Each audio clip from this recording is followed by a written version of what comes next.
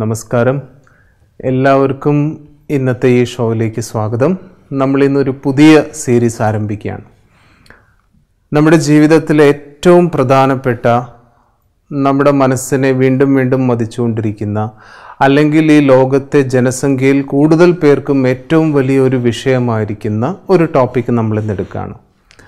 Success strategies ഈ topic എടുക്കുമ്പോൾ നമുക്കിതിന്റെ അടിസ്ഥാനങ്ങളിലേക്ക് ഇറങ്ങണം.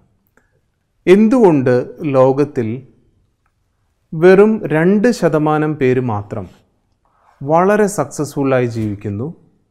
ബാക്കി തൊണ്ണൂറ്റിയെട്ട് ശതമാനം പേരും they are said they are living lives of desperation എന്തുകൊണ്ട് വളരെ വിഷമിച്ച് ജീവിതം മുന്നോട്ട് നീക്കാൻ കഷ്ടപ്പെട്ട് അവരെന്തുകൊണ്ട് ഈ ഒരു അവസ്ഥയിലേക്ക് എത്തുന്നു? ഏത് കാര്യത്തിന് നമ്മൾ നോക്കുകയാണെങ്കിലും ചില ബേസിക്സ് ഉണ്ട് ഇല്ലേ? ചില ഫണ്ടമെന്റൽസ് ഉണ്ട്. സ്കൂളിൽ നമ്മൾ എന്തിനാണ് പോകുന്നത്? പഠിക്കാനാണ് പോകുന്നത്. എന്താണ് പഠിക്കുന്നത്? ഫണ്ടമെന്റൽസ് ആണ് ആദ്യം പഠിക്കുന്നത്. ബേസിക് ആണ് ആദ്യം പഠിക്കുന്നത്. ബേസിക്കിന്റെ കാര്യം പറയുമ്പോൾ ഒരു കാര്യം ഓർമ്മ വരുന്നത്. ഒരു വളരെ ഫേമസ് ക്രിക്കറ്റ് പ്ലെയർ ഉണ്ടായിരുന്നു.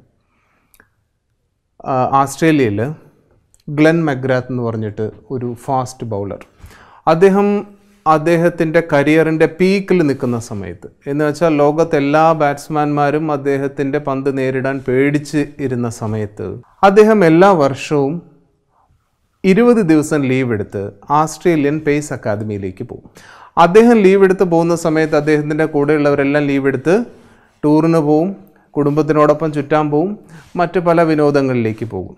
പക്ഷേ ഈ വ്യക്തി എവിടേക്കാണ് പോകുന്നത്? ആസ്ട്രേലിയൻ പേസ് അക്കാദമിയിലേക്ക്. എന്തിനാണ് പോയത്? അദ്ദേഹം ഒരു ഇന്റർവ്യൂവിൽ പറഞ്ഞു ഞാൻ ഈ ഇരുപത് ദിവസം അവിടെ പോകുന്നത് ബൗളിങ്ങിന്റെ ബേസിക്സ് പഠിക്കാനാണ്. ബൗളിങ്ങിന്റെ ബേസിക്സ് പഠിക്കാനാണ്. എന്തിനാണ് ഈ ബേസിക്സ് പഠിക്കുന്നത്? ലോകത്തിലെ ഏറ്റവും സക്സസ്ഫുള്ളായ fast bowler is it necessary for him to learn the basics is it necessary for him to relearn the basics actually it is not necessary പക്ഷെ അദ്ദേഹം എന്താ പറഞ്ഞെന്ന് വെച്ചാൽ ആ ചോദ്യം ചോദിച്ച റിപ്പോർട്ടറോട് അദ്ദേഹം പറഞ്ഞു നമ്മൾ മനുഷ്യരായിരിക്കുന്നവർക്കൊക്കെ ഇടയ്ക്ക് പറ്റുന്ന ഒരു അബദ്ധമുണ്ട്. എന്താണ് അബദ്ധം? ജീവിതത്തിൽ അഡ്വാൻസ് ആയി പോയിക്കൊണ്ടിരിക്കുമ്പോൾ ചില സമയത്ത് നമ്മൾ എന്ത് സംഭവിക്കും? ബേസിക്സ് മറന്നു പോകും. ചില സമയത്ത് ബേസിക്സ് മറന്നു പോകും. ഈ ബേസിക്സ് മറന്നു പോയ ആൾക്കാരെ കണ്ടാൽ അറിയാനും പറ്റും. എങ്ങനെയാണ് അറിയുക? അവരുടെ മുഖത്ത് പുഞ്ചിരി ഉണ്ടാവില്ല. മുഖത്ത് പുഞ്ചിരി ഇല്ലെങ്കിൽ മനസ്സിലാക്കണം ബേസിക്സ് മറന്നിട്ട് നടക്കുകയാണ് അവരുടെ ജീവിതത്തിൽ ഉന്മേഷ ഉത്സാഹവും ഉണ്ടാവില്ല. അപ്പോൾ മനസ്സിലാക്കിക്കൊള്ളണം അവർ ബേസിക്സ് നിന്ന് മാറിപ്പോയിരിക്കുകയാണ്. കാരണം നമുക്ക് എല്ലാവർക്കും ഉള്ളിന്റെ ഉള്ളിലുള്ള ഒരു ഒരു ഒരു വാഞ്ച ഒരു ആഗ്രഹം എന്താണെന്ന് വെച്ചാൽ അഡ്വാൻസ് ആയിട്ട് പോകണം. ശരിയല്ലേ? അഡ്വാൻസ് ആയിട്ട് പോകണം. അത് മെല്ലെ പോയാൽ മതിയോ? മെല്ലെ പോയാൽ മതിയോ? പോരാ. പെട്ടെന്ന് തന്നെ പോകണം പെട്ടെന്ന് റിസൾട്ട് വേണം. I need immediate result immediate result ഇത് നമ്മുടെ സക്സസ്സിന്റെ വലിയൊരു വിഘ്നമായിട്ട് മാറും. ജീവിതത്തിൽ പലരും വിജയം കിട്ടാത്തതിന്റെ ഏറ്റവും വലിയൊരു കാര്യം തോമസ് ആൽവ എഡിസൺ ഒരു തവണ പറഞ്ഞു. Nobody is a failure in this world അദ്ദേഹം പറഞ്ഞു. Nobody is a failure in this world പിന്നെ എന്താണ് ആൾക്കാർക്ക് സംഭവിക്കുന്നത്? തൊണ്ണൂറ്റെട്ട് ശതമാനം ഫെയിലിയേഴ്സ് ഉണ്ടെന്നുള്ളത് ഫാക്റ്റാണ് സർവേ റിസൾട്ടാണ് എന്തുകൊണ്ട് സംഭവിക്കുന്ന ഇത്? അദ്ദേഹം അതിന്റെ റീസൺ പറഞ്ഞു. People just quit just before success മനസ്സിലായോ? ആൾക്കാർ വിജയം എത്തുന്നതിന്റെ തൊട്ട് മുമ്പ് വെച്ച് നിർത്തിയിട്ട് പോകും. ഒരു സ്റ്റെപ്പ് കൂടി മുന്നോട്ട് വെച്ചാൽ ജീവിതത്തിൽ വിജയിച്ചേനെ. പക്ഷെ ആ സമയത്ത് അവർക്ക് തോന്നും ഇനി എന്നെ കൊണ്ട് കഴിയില്ല. ഇനി മുന്നോട്ട് പോകാൻ പറ്റില്ല. അപ്പോൾ ജീവിതത്തിൽ നമുക്ക് പെട്ടെന്ന് റിസൾട്ട് വേണം. എന്ന് പ്രതീക്ഷിക്കുമ്പോഴാണ് നമുക്ക് ഫെയിലൂർ ഉണ്ടാകുന്നത് കുറച്ചുകൂടി മുന്നോട്ട് പോകാൻ കുറച്ചും കൂടി മുന്നോട്ട് നമ്മളെ തന്നെ പുഷ് ചെയ്യാൻ. ഉള്ള ഒരു ഒരു മെന്റാലിറ്റി ഉണ്ടാക്കിയെടുത്താൽ നമ്മുടെ ജീവിതത്തിലുള്ള വളരെയധികം പരാജയങ്ങളെ നമുക്ക് മാറ്റിയെടുക്കാൻ സാധിക്കും.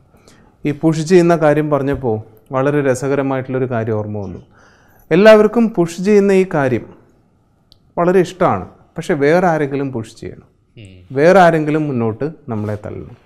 ലോകത്തിൽ അധികം പേരും ഈ ജീവിതത്തിൽ പരാജയപ്പെട്ടു പോയ ആൾക്കാരുടെ ജീവിതം പരിശോധിച്ചപ്പോൾ കാണാൻ കഴിഞ്ഞെന്താണെന്നറിയോ everyone who were timed as failures were waiting for somebody to push them ഇതൊരു ജനറൽ സൈക്കോളജിയാണ് മറ്റുള്ള ആർക്കെങ്കിലും വേണ്ടി വെയിറ്റ് ചെയ്താൽ നമ്മളെ പുഷ് ചെയ്യാൻ we will become a failure that is a proven fact ഒരു ഗ്രാമത്തിൽ വളരെ ധനികനായിട്ടുള്ള ഒരു വ്യക്തി ഉണ്ടായിരുന്നു. ആ വ്യക്തിക്ക് ഒരേ ഒരു മോളെ ഉണ്ടായിരുന്നുള്ളൂ. അപ്പോൾ ആ കുട്ടിയാണെങ്കിൽ വളരെ ബുദ്ധിമതിയാണ് വളരെ സുന്ദരിയാണ്. അപ്പോൾ വിവാഹപ്രായത്തിയപ്പോൾ ഇദ്ദേഹത്തിന് തോന്നി ആർക്കെങ്കിലും പിടിച്ച് വിവാഹം കഴിച്ചു കൊടുക്കാൻ പാടില്ല. എന്റെ മോളെ വിവാഹം കഴിക്കുന്ന ആൾ should be very courageous should be successful അങ്ങനെ കുറേ കണ്ടീഷൻസ് അദ്ദേഹം മനസ്സിൽ കണ്ടു. ഇനി അങ്ങനെ ഒരു ചെറുപ്പക്കാരനെ കണ്ടുപിടിക്കണ്ടേ? കണ്ടുപിടിക്കാൻ വേണ്ടിയിട്ട് അദ്ദേഹം he invited all the youngsters in the village എല്ലാ ചെറുപ്പക്കാരെയും വിളിച്ചു ഒരു പാർട്ടി കൊടുത്തു. അദ്ദേഹത്തിന്റെ വീട്ടിലേക്ക് എല്ലാവരും വന്നു. പാർട്ടി സെലിബ്രേഷൻ നടക്കുകയായിരുന്നു. സെലിബ്രേഷൻ നടന്നുകൊണ്ടിരുന്ന് അദ്ദേഹം എല്ലാവരെയും വിളിച്ചു. ഒരുമിച്ച് വിളിച്ചു. എന്നിട്ട് പറഞ്ഞു ഇന്ന് ഞാൻ വെറുതെ ഒരു party നടത്തിയതല്ല. There is a beautiful occasion in connection with the party അതെന്താണ്? അതെന്റെ മകളുടെ വിവാഹ നിശ്ചയമാണ്. നിങ്ങളിൽ ഒരാൾക്ക് ഞാൻ എന്റെ മകളെ വിവാഹം കഴിച്ചു തരും. പക്ഷെ അതിന്റെ മുമ്പ് നിങ്ങൾ ഒരു ചെറിയ ടെസ്റ്റ് പാസ്സാവണം. ഒരു ചെറിയ ടെസ്റ്റ് ഉണ്ട്. എന്താണ് ടെസ്റ്റ് വളരെ സിമ്പിൾ ടെസ്റ്റാണ് എന്നിട്ട് അദ്ദേഹം എല്ലാവരെയും കൊണ്ടൊരു സ്വിമ്മിംഗ് പൂളിന്റെ അടുത്തേക്ക് പോയി. ആ സ്വിമ്മിംഗ് പൂളിന്റെ അടുത്തേക്ക് ചെന്നിട്ട് അദ്ദേഹം പറഞ്ഞു നിങ്ങൾ ഇവിടെ ഇറങ്ങിയിട്ട് അതിന്റെ ഒരു കടവിൽ ഇറങ്ങിയിട്ട് അടുത്ത കടവ് വരെ നീന്തി. വലിയൊരു കുളമാണ്. അടുത്ത കടവ് വരെ നീന്തി അക്കരെ പിടിക്കണം. ഇത്രയേ ഉള്ളൂ. സിമ്പിൾ അത് പറഞ്ഞപ്പോഴേക്കും എല്ലാവരും ഞാൻ റെഡി ഞാൻ റെഡി ഞാൻ റെഡി അപ്പോൾ അദ്ദേഹം പറഞ്ഞു ഒരു ചെറിയ കണ്ടീഷൻ കൂടിയുണ്ട്. മുഴുവൻ കേൾക്ക് നിങ്ങൾ ഈ കുളത്തിൽ ഞാൻ ഇന്നലെ കുറച്ച് വിഷമുള്ള പാമ്പുകളെയും കുറച്ച് മുതല തുടങ്ങിയ സാധനങ്ങളെ കിട്ടിയിട്ടുണ്ട് ഇനി ആരാ ചാടുന്നതെന്ന് വെച്ചാൽ ചാടിക്കോളാൻ പറഞ്ഞു പറഞ്ഞു തീർന്നതും ഒരാൾ ചാടി. പറഞ്ഞു തീർന്നതും ഒരാൾ ചാടി. അയാൾ ചാടി എല്ലാവരും അത്ഭുതപ്പെട്ട് നോക്കുകയാണ് അയാൾ വളരെ പെട്ടെന്ന് നീന്തി അക്കരെ പിടിച്ചു. എല്ലാവർക്കും എന്താ നടക്കുന്നതെന്ന് മനസ്സിലാവുന്നതിന് മുമ്പ് അയാൾ അക്കരെ കയറി കഴിഞ്ഞു. എല്ലാവരും ചുറ്റും കൂടി. എല്ലാവരും പറഞ്ഞു കൊള്ളാം. നിങ്ങൾ വളരെ ധൈര്യശാലിയാണ്. അദ്ദേഹം വന്ന് പറഞ്ഞു സമ്പന്നനായ ആ വൃദ്ധൻ പറഞ്ഞു നിങ്ങളെപ്പോലെ ധൈര്യമുള്ള ഒരാളെ ഞാൻ ജീവിതത്തിൽ ആദ്യമായിട്ടാണ് കാണുന്നത്. നിങ്ങൾക്ക് ഞാൻ മകളെ വിവാഹം കഴിച്ചു തരാൻ മാത്രമല്ല എന്റെ സ്വത്തിന്റെ പകുതിയും ഞാൻ നിങ്ങൾക്ക് തരാൻ പോവാണ്. അദ്ദേഹം പറഞ്ഞു അതെല്ലാം പിന്നെ മതി. എന്നെ ഉന്തിയിട്ട ആളെ ഞാൻ ആദ്യം ഒന്ന് കണ്ടുപിടിക്കട്ടെ. അപ്പം നമ്മളെ ആരെങ്കിലും പുഷ് ചെയ്താൽ നമ്മൾ ചിലപ്പോൾ വലിയ വലിയ കാര്യങ്ങളൊക്കെ ചെയ്തെന്നിരിക്കും. പക്ഷേ ഇത് നമുക്ക് ഉറപ്പിക്കാൻ പറ്റില്ല. ഇത് നമുക്ക് ഒരു ഒരു ബേസിക് ആയിട്ട് എടുക്കാൻ പറ്റില്ല. ബേസിക് നമ്മുടെ കയ്യിൽ തന്നെ വേണം. അപ്പോൾ നമ്മളെ പുഷ് ചെയ്യേണ്ടത് ആരാണ്? നമ്മൾ തന്നെയാണ്. നമ്മൾ തന്നെ നമ്മളെ പുഷ് ചെയ്യണം. വിത്ത് ഇട്ടതിന് ശേഷം എത്ര സമയം എടുക്കും ഒരു ചെടി കിളിർത്ത് വരാൻ? ചിലത് ആറുമാസം ചിലത് ഒരു വർഷം ചിലത് തെങ്ങ് എത്ര വർഷം എടുക്കും? ഏഴ് വർഷം എടുക്കും എട്ട് വർഷം എടുക്കും. ഇല്ല ചുരുങ്ങിയത് മൂന്ന് വർഷമെങ്കിലും ഇപ്പോൾ എടുക്കും. ടൈം കൊടുക്കണം. നമ്മൾ ഏറ്റവും കൂടുതൽ നമ്മുടെ ശ്രദ്ധ പോകുന്നത് what is my harvest of today ഇന്ന് ഞാൻ എത്ര കൊയ്തെടുത്തു? ഇതിലേക്കാണ് നമ്മുടെ ശ്രദ്ധ മുഴുവൻ പോകുന്നത്. മനുഷ്യർ എവിടെ നിരാശരായിരിക്കുന്നു എവിടെ അസംതൃപ്തരായിരിക്കുന്നോ ഒരൊറ്റ കാര്യമാണ് അവർ നോക്കുന്നത് ഹാർവെസ്റ്റിലേക്കാണ് ഇന്ന് ഞാൻ എന്താണ് കൊയ്തെടുത്തത്? ചെറിയൊരു ഫോക്കസിൽ ചേഞ്ച് വരുത്തിയാലോ? ഞാൻ എന്ത് കൊയ്ത് ഈ കൊയ്തെടുക്കുന്നതിന്റെ ഫസ്റ്റ് സ്റ്റെപ്പ് എന്താണ്? ഫസ്റ്റ് സ്റ്റെപ്പ് ആരെങ്കിലും പറയാമോ? കൊയ്തെടുക്കുന്നതിന്റെ ഫസ്റ്റ് സ്റ്റെപ്പ് വിത്ത് വിതയ്ക്കുക. ഫസ്റ്റ് സ്റ്റെപ്പ് വിത്ത് വിതയ്ക്കലാണ്. വിത്ത് വിതച്ചാൽ മാത്രം മതിയോ? പോരാ. വിതച്ചാൽ പോരാ. പിന്നെയോ? അതിനെ പരിചരിക്കണം. പരിചരിക്കണം. പിന്നെ വെള്ളം ഒഴിക്കണം അതിന് വെയിൽ വേണം. ഒരുപാട് അതിനെ ആരും തിന്നാതെ നോക്കണം. ഒരുപാട് സ്റ്റെപ്സ് ഉണ്ട്. പക്ഷെ ബേസിക് സ്റ്റെപ്പ് എപ്പോഴും വിത്തിടുക. എന്നാൽ വിത്തിട്ടാലും മതിയാവില്ല. എത്ര വിത്ത് എത്രയോ പേര് എത്രയോ സ്ഥലങ്ങളിൽ കൊണ്ടിടുന്നുണ്ട് എല്ലാം ചെടിയായി വരുന്നുണ്ടോ? ഇല്ല. ഇല്ല. ആ വിത്ത് നന്നായിരിക്കണം. നന്നായിരിക്കണം. നന്നായിരിക്കും. ആ വിത്ത് നന്നായിരിക്കണം. ഇനി വിത്ത് നന്നായാൽ മാത്രം പോരാ. ഗ്രൗണ്ട് ഫെർട്ടൈൽ ആയിരിക്കണം. ഇടുന്ന സ്ഥലം ബെറ്റർ ആയിരിക്കണം. എവിടെയെങ്കിലും കൊണ്ട് വിത്തിട്ടാൽ അതിന്റെ റിസൾട്ട് വരില്ല. നമ്മുടെ ഫോക്കസ് നമുക്കൊരു കാര്യം ചെയ്യാം. ആ റിസൾട്ട് കിട്ടുന്നതിൽ നിന്ന് മാറ്റിയിട്ട് എവിടേക്ക് വയ്ക്കാം വിത്തിടുന്നതിലേക്ക് വയ്ക്കാം. ഞാൻ ഇന്ന് നല്ല വിത്തുകൾ എത്ര എണ്ണം വിതച്ചു? How many good seeds I have sown today ഈ ഒരൊറ്റ ഫോക്കസ് മതി. നമ്മുടെ ലൈഫ് ചേഞ്ച് ചെയ്യാൻ തുടങ്ങും. കാരണം നല്ല വിത്ത് ഇടാൻ തുടങ്ങിക്കഴിഞ്ഞാൽ പിന്നെ അതിനെ പരിചരിക്കുന്ന എങ്ങനെയാണെന്നുള്ളതിലേക്ക് നമ്മുടെ ശ്രദ്ധ പോകും. പിന്നെ പതുക്കെ പതുക്കെ പതുക്കെ ഹാർവെസ്റ്റ് ഉണ്ടായി വരും. അങ്ങനെ ഹാർവെസ്റ്റ് ഉണ്ടാകുമ്പോൾ ഒരു വളരെ രസകരമായ ഒരു സംഭവം നടക്കും. നമ്മുടെ ഫോക്കസ് ഹാർവെസ്റ്റിലേക്ക് ആയിരിക്കില്ല അപ്പോഴും നമ്മുടെ ഫോക്കസ് എവിടേക്കായിരിക്കും? അതിൽ നിന്ന് വീണ്ടും കൂടുതൽ കൂടുതൽ വിത്തിടുന്നതിലായിരിക്കും. വീണ്ടും കൂടുതൽ കൂടുതൽ വിത്തിടുന്നതിലായിരിക്കും. ഓക്കെ അതുകൊണ്ട് നമുക്ക് ഈ സീരീസിൽ സക്സസ് സ്ട്രാറ്റജീസിൽ നമ്മൾ നോക്കുന്നുണ്ടെന്ന് വെച്ചാൽ ആ ബേസിക്സ് എന്താണ്?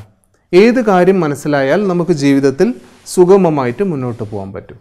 അതിലേക്ക് കടക്കുന്നതിന് മുമ്പ് ഒരു വലിയ തെറ്റിദ്ധാരണ നമ്മുടെ മനസ്സിലുണ്ട്. എത്ര പേരുടെ മനസ്സിലുണ്ടെന്ന് അറിയാമോ തെറ്റിദ്ധാരണ? നേരത്തെ കണക്ക് ഞാൻ പറഞ്ഞു.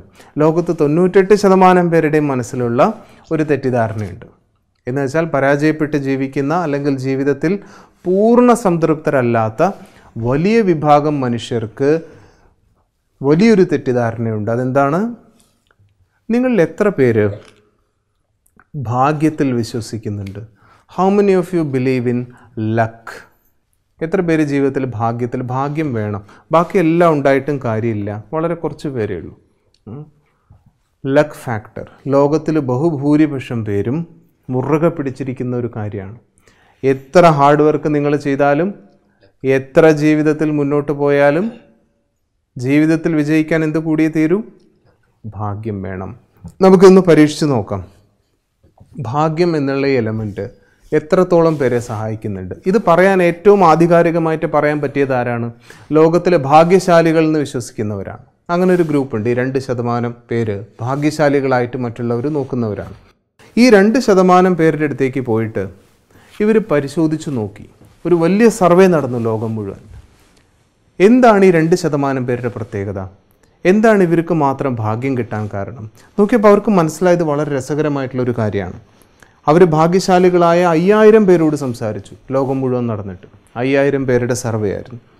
എന്നിട്ട് അവർ അവസാനം ഫൈനൽ അവരുടെ റിപ്പോർട്ട് പുറത്തു വന്നു. അതിനെ ഒരു പുസ്തകമാക്കി അവർ ആ പുസ്തകം ന്യൂയോർക്ക് ടൈംസിന്റെ ബെസ്റ്റ് സെല്ലറായി ആ പുസ്തകത്തിന്റെ പേര് it was very very peculiar and very very exciting also എന്തായിരുന്നു ആ ബുക്കിന്റെ പേര്? The luckiest people in the world never believe in luck. ലോകത്തിലെ ഭാഗ്യശാലികളായ ആൾക്കാർ ഭാഗ്യത്തിൽ വിശ്വസിക്കുന്നില്ല. പിന്നെ അവരുടെ ലൈഫ് നോക്കിയപ്പോൾ ഇവർക്കൊരു കാര്യം മനസ്സിലായി. അതിനൊരു ഫോർമുലയുണ്ട് ആ ഫോർമുല അവർ ആ പുസ്തകത്തിൽ പ്രസന്റ് ചെയ്തു. അത് ജീവിത വിജയത്തിന്റെ ഏറ്റവും ബേസിക് ആയിട്ടുള്ളൊരു ഫോർമുലയാണ്. Luck happens when opportunity meets preparation. എപ്പോഴാണ് ഭാഗ്യം ഉണ്ടാവുന്നത്? അവസരവും പ്രിപ്പറേഷനും തയ്യാറെടുപ്പും. ലോകത്തിലുള്ള അധികം പേരുടെയും ശ്രദ്ധ എവിടേക്കാണ് പോകുന്നത്? ഈ രണ്ട് കാര്യത്തിൽ ഓപ്പർച്യൂണിറ്റിയിലേക്കാണോ പ്രിപ്പറേഷനിലേക്കാണോ പോകുന്നത്? ഓപ്പർച്യൂണിറ്റിയിലേക്കാണ് പോകുന്നത്. എവിടെയാണ് അവസരം? എവിടെയാണ് അവസരം? എനിക്കെന്താണ് അവസരം? എനിക്ക് എവിടെയാണ് മുന്നോട്ട് പോകാൻ പറ്റുക? അവസരങ്ങളിലേക്ക് നോക്കുകയാണ് പക്ഷേ ഇതിൽ ഏറ്റവും വലിയ തമാശ എന്താണെന്ന് അറിയാമോ? ഏറ്റവും വലിയ തമാശ അവസരങ്ങളെ കാണണമെങ്കിൽ യു ഷുഡ് ബി പ്രിപ്പയർഡ് അപ്പോൾ ലോകത്ത് അവസരങ്ങൾ എല്ലാ ഭാഗത്തും ഉണ്ട് എല്ലാ സമയത്തും ഉണ്ട് പക്ഷേ അത് കാണാൻ സാധിക്കുന്നത് ആർക്കാണ്? Those who are prepared prepared ആയവർക്ക് മാത്രമേ അവസരങ്ങളെ കാണാൻ സാധിക്കുള്ളൂ. ഇനി എന്താണ് ഈ പ്രിപ്പറേഷൻ അഞ്ച് തരത്തിൽ നമുക്കതിനെ ഡിവൈഡ് ചെയ്യാം. ഇത് വളരെ ഇമ്പോർട്ടന്റ് ആണ്. ഇത് ശ്രദ്ധിച്ച് കേൾക്കണം. ഇത് മനസ്സിലായി കഴിഞ്ഞാൽ നമുക്ക് ജീവിതത്തിൽ എവിടെ വേണമെങ്കിലും എത്ര വേണമെങ്കിലും മുന്നോട്ട് പോകാൻ പറ്റും. നമ്മൾ ഏറ്റവും ഫണ്ടമെന്റലിലേക്ക് വരികയാണ്. അഞ്ച് ഫാക്ടേഴ്സാണ് നമുക്ക് ഓർമ്മ വയ്ക്കാൻ എളുപ്പമാണ്. അഞ്ച് ഫാക്ടേഴ്സാണ് ഇംഗ്ലീഷ് അഞ്ച് വേഡുകളാണ്. ഓർമ്മ വയ്ക്കാൻ വളരെ എളുപ്പമാണ്. First factor is ഏണിങ് Y E A R N I N G ഏണിങ് എന്താണ് ഏണിങ് തീവ്രമായ ആഗ്രഹം തീവ്രമായ ഇച്ഛ. എനിക്ക് ഒരു ബെറ്റർ ലൈഫിലേക്ക് പോകണം. എനിക്കൊരു ബെറ്റർ ലൈഫിലേക്ക് പോകണം. വളരെ സക്സസ്ഫുൾ ആയിട്ടുള്ളൊരു എക്സിസ്റ്റൻസ് എനിക്കുണ്ട്. എനിക്ക് അതിലേക്ക് പതുക്കെ പതുക്കെ പതുക്കെ ഉയരണം.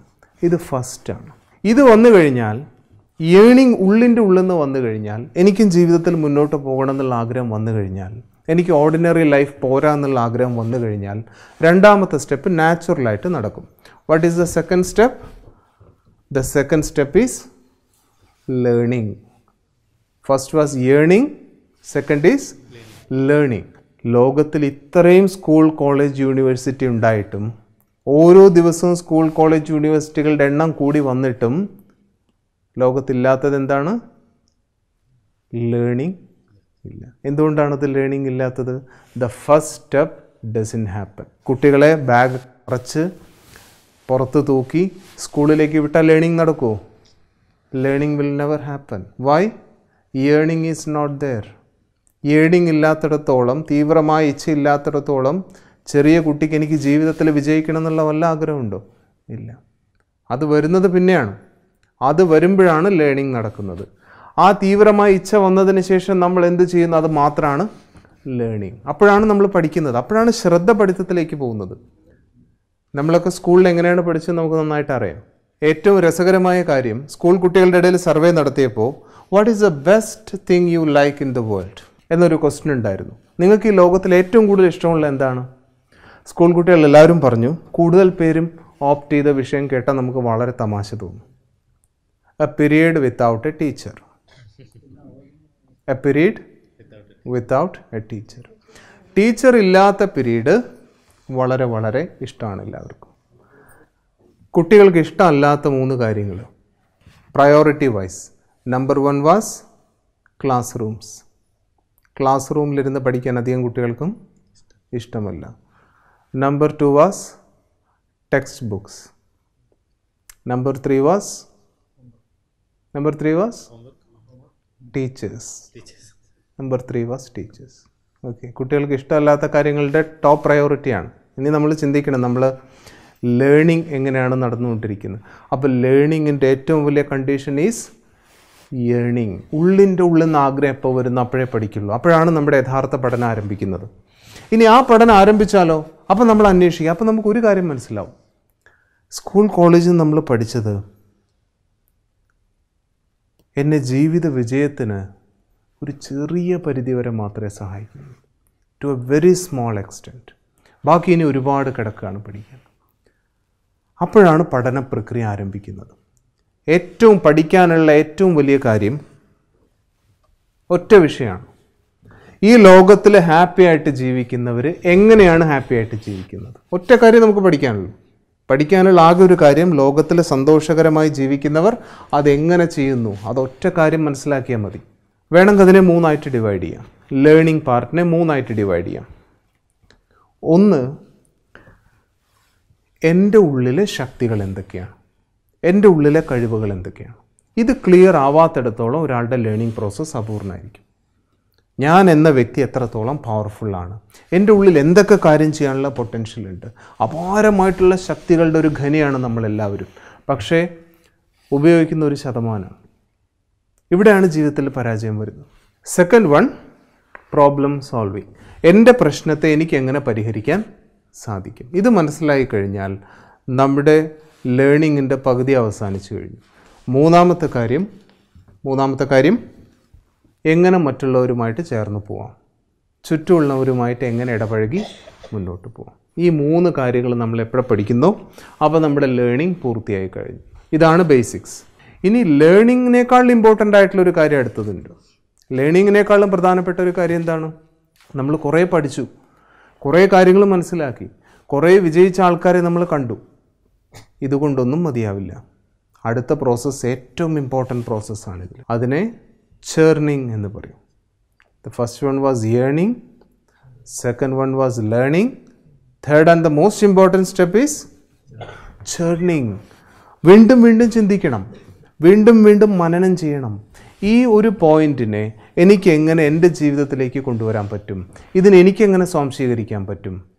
ജീവിതത്തിൽ പല വ്യക്തികൾ വിജയിച്ചതിന് പല കാരണങ്ങളും ഉണ്ടാവാം. ഇതിൽ ഞാൻ ഏതിനെ എന്റെ ലൈഫിലേക്ക് കൊണ്ടുവരും? എങ്ങനെ ഞാൻ ദിവസം ഇതിനെ പ്രാക്ടീസ് ചെയ്യും? ഇതാണ് ഏറ്റവും ബ്രോഡസ്റ്റ് പെർസ്പെക്റ്റീവ് നമുക്ക് ഏറ്റവും കൂടുതൽ ശ്രദ്ധ കൊടുക്കേണ്ട ഇതിലാണ് ലേണിംഗ് പിന്നെയും എളുപ്പത്തിൽ നടക്കും. പക്ഷേ ചേർണിങ്ങിന് സമയം കൊടുക്കണം. It is a long process അതൊരു വലിയ പ്രോസസ്സാണ് ഈ പ്രോസസ്സ് കൂടി നടന്നു കഴിഞ്ഞാൽ അടുത്ത രണ്ട് സ്റ്റെപ്പ് ഒരു എഫർട്ടും ഇല്ലാതെ നടക്കും.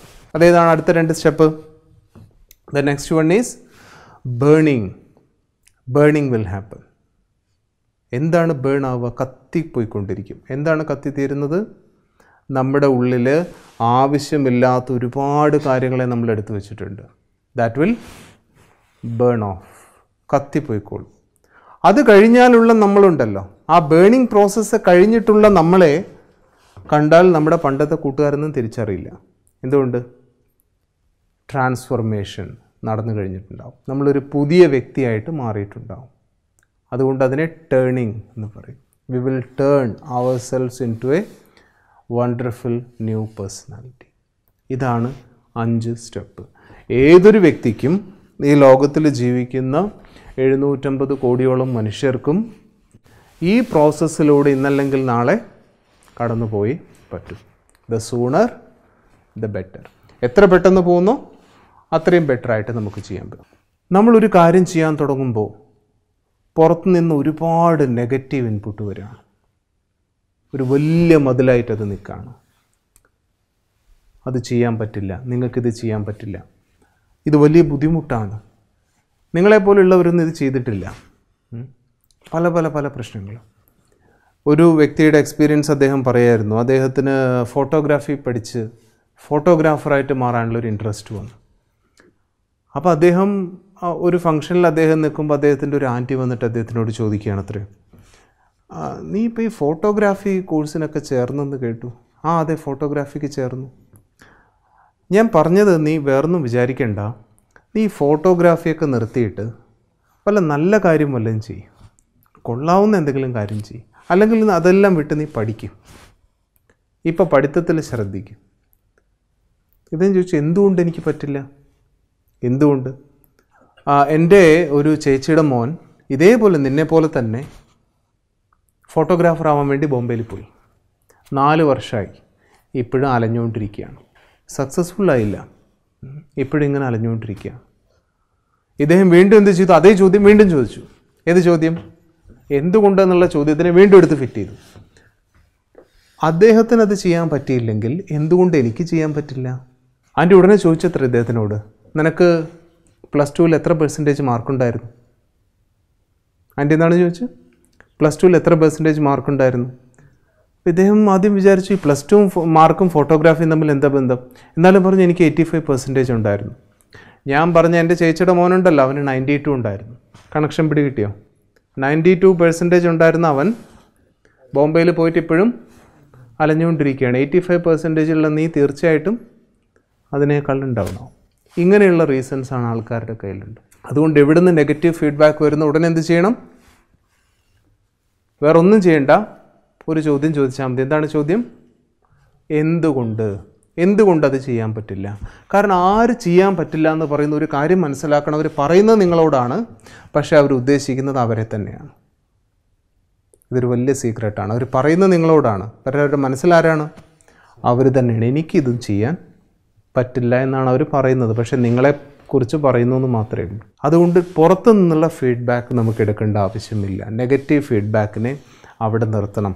അതുകൊണ്ട് നമ്മുടെ ഏറ്റവും വലിയൊരു ബേസിക് എന്താണ്? രണ്ട് ചുമരുകളെ നമുക്ക് നോക്കണം. ഒന്ന് നമ്മുടെ ഉള്ളിൽ നിന്നുള്ള ശബ്ദം രണ്ട് പുറത്തു നിന്നുള്ള ശബ്ദം. ഈ രണ്ട് ശബ്ദത്തിനെ നമ്മൾ സൈലന്റ് ചെയ്ത് കഴിഞ്ഞാൽ നമ്മുടെ സക്സസിന്റെ യാത്ര വളരെ സ്മൂത്തായിട്ട് മുന്നോട്ട് പോകും. എല്ലാവർക്കും വളരെയധികം നന്ദി.